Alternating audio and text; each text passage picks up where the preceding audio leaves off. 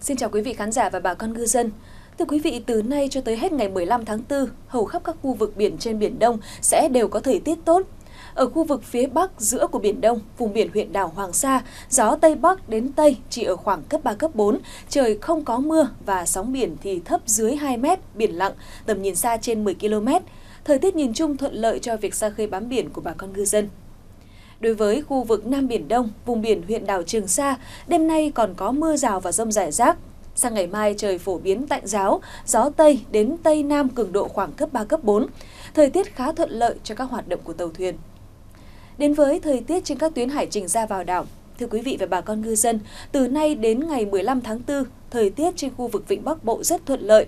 Gió yếu, sóng thấp, biển lặng và không có mưa rông, tầm nhìn xa trên 10 km. Việc đi lại trên tuyến hải trình từ Hải Phòng ra huyện đảo Bạch Long Vĩ và ngược lại sẽ không gặp bất kỳ trở ngại nào cũng như khu vực Vịnh Bắc Bộ trên tất cả các vùng biển của miền Trung đều trong giai đoạn thời tiết đẹp, gió Tây Nam yếu với cường độ khoảng cấp 3, cấp 4, sóng biển thấp dưới 1,5 mét, biển lặng. Mưa rông cũng không xuất hiện nên tầm nhìn xa luôn trên 10 km, rất thuận lợi cho việc ra khơi bám biển, khai thác ngư trường và đi lại trên tuyến hải trình từ cảng Sa Kỳ ra khu vực huyện đảo Lý Sơn. Tuyến hải trình từ Vũng Tàu ra Côn Đảo, thời tiết đáng lưu ý hơn cả vẫn là những cơn mưa rào và rông trong đêm nay và chiều tối mai, làm cho tầm nhìn xa bị giảm thấp xuống còn từ 4 đến 10 km. Ngoài lưu ý đó ra thì gió Tây Nam chỉ ở mức cấp 4 và sóng biển thấp dưới 1,75 m. Thời tiết cơ bản cũng thuận lợi cho việc ra khơi, lưu thông hàng hải của bà con ngư dân.